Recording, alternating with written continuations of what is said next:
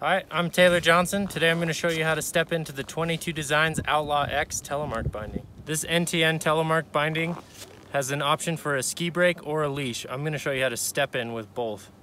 First thing I like to do is make sure my boot is clear of snow.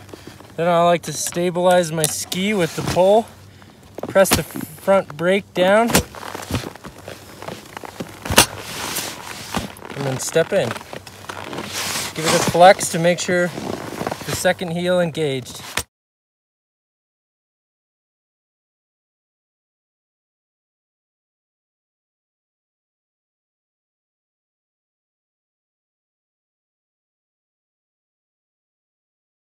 And when stepping out of the binding, you lift your heel up and engage the second heel claw with your pole and twist out.